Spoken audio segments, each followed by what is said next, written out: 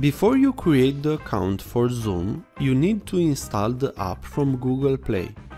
Check the description if you wish to see how to install the Zoom app. After you have installed the app, to create an account you need to do the following.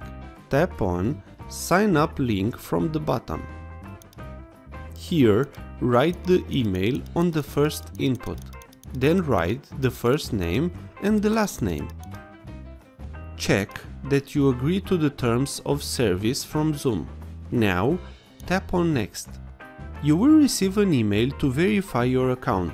Just check your email to continue with the next step. I will go to the Gmail app on the phone. Here we have the email that we received from Zoom. Tap on it. Now tap on Activate account. On this page, just create the password for the new account.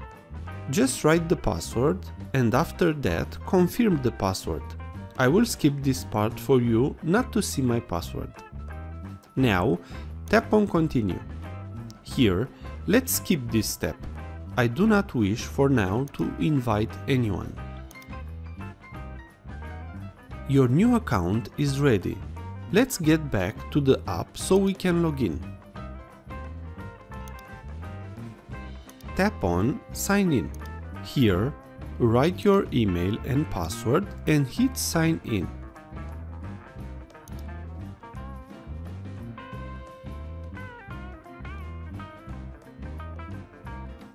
You can enable fingerprint ID if your phone has this. I will tap OK. Your new account is ready to be used on Zoom. If this was useful, please like, share and subscribe. Also, if you have any questions, please ask them on the comments area below.